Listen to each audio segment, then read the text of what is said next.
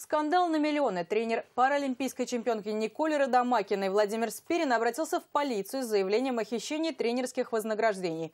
Речь идет о 5 миллионах рублей, которые по правилам должны поделить поровну. Однако на деле всю сумму получила второй тренер Николь Марина Вострикова. Делиться солидным кушем она не собирается, игнорирует при встречах, не отвечает на телефонные звонки. Наша съемочная группа пыталась разобраться в этом запутанном спортивно-финансовом споре. С Мариной Востриковой Владимир Спирин работал рука об руку с 96 -го года. Первые тренерские навыки Марина получила, будучи его ученицей. Потом вместе пестовали юных спортсменов Чапаевска. Со слов Спирина, «Черная кошка» пробежала между тренерами в 2010-м с победой Николи Родомакиной на чемпионате мира. Тогда в большой спорт мешались большие деньги. Олимпийская медаль Лондона окончательно расставила тренеров по разные стороны баррикад. Причина раздора – финансовое вознаграждение – более чем 5 миллионов рублей на нее было оформлено. Она вначале сказала, что все, поделимся, а сейчас сказал, что не будут делиться. Ну, то есть она скрывается? Да, ну как скрывается? Она не то, что она не скрывается, в общем-то, она сказала, что я не буду делиться. Вклад мой, конечно, большой, огромный. Э, учебно-тренировочным процессом осуществлял в общем-то, в основном я и все планы, все готовил. Марина Ивановна ну, на сборы ездила с Николь, конечно.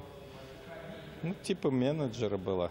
Договорные отношения между Спириным, Востриковой и их подопечной были заключены в 2008 году. По документам Николь тренировали оба. Однако в лондонских списках фамилии Спирина не оказалось, хотя сама спортсменка утверждает, что к олимпийской медали ее привел именно Владимир Степанович. Тренер был Владимир Степанович. То есть он писал планы, тренировал меня полностью дома. А Марина Ивановна больше занималась такой письменной работой. Владимир Степанович уже в возрасте, так скажем. Как бы это обидно для него не звучало. И у него здесь очень много дел, так как он называется, депутат. Поэтому у него не было возможности со мной есть. Этим занималась Марина Ивановна. То есть на сборах, на всех соревнованиях была со мной она. Но опять же все планы, все под, было под контролем Владимира Степановича. Марина Вострикова видит в победе Родомакиной свои заслуги. Когда он приехал с последних сборов с Новогорска, он пришел в департамент спорта, это мне уже потом сказали, и там во всеуслышании всем говорил, что Николь нулевая. Никаких медалей от нее не ждите. Ничего она не сможет показать. Понимаете, он мне ее отдал э, в Лондон. Все, она в разваленном состоянии была.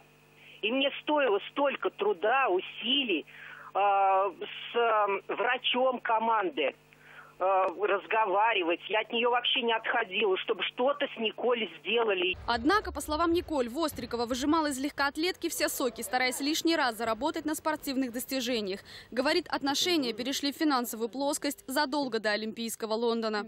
Когда мы не заявлялись на какие-то виды на чемпионате Европы из-за того, что там надо было готовиться к Олимпиаде и было куча травм, но они были также эти виды, как сказать, вознаграждаемые. Марина Ивановна почему-то думала, что она может без моего и без ведома Владимира Степановича заявлять меня. То есть, естественно, там уже на соревнованиях, когда я стою в протоколах, во всех заявках, я уже не могла отказаться. Каким образом решить финансовый спор, когда взаиморасчеты между тренерами не оформлены юридически? Ответ на этот вопрос предстоит найти участникам конфликта в ближайшее время. Дело о тренерском вознаграждении, возможно, получит продолжение. Владимир Спирин подал заявление в полицию. Марина Вострикова считает, что правда на ее стороне. 13 ноября пришли деньги на мой счет. И вот тогда я Владимиру Степановичу сказала, что Владимир Степанович, деньги пришли.